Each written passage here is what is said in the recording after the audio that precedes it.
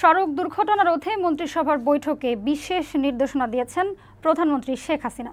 সকালের সচিবালয়ে মন্ত্রিসভার নিয়মিত বৈঠকের শুরুতেই দেশের সড়ক ব্যবস্থাপনা সংক্রান্ত অনির্ধারিত আলোচনায় এসব নির্দেশনা দেন প্রধানমন্ত্রী।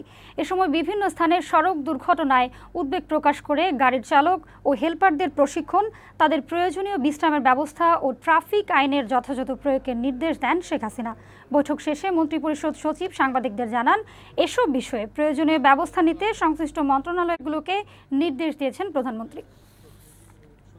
দুর্ঘটনা ঘটছে তা কমানোর জন্য মাননীয় প্রধানমন্ত্রী সুনির্দিষ্ট কয়েকটি নির্দেশনা প্রদান করেন। তার মধ্যে একটা হলো যে, ড্রাইভার এবং তার সাথে হেল্পার যারা, তাদেরকে প্রশিক্ষণের ব্যবস্থা করা। তারপরে লং ডিস্টেন্স ড্রাইভিং যারা করে, ওখানে বিকল্প ড্রাইভারের ব্যবস্থা করা।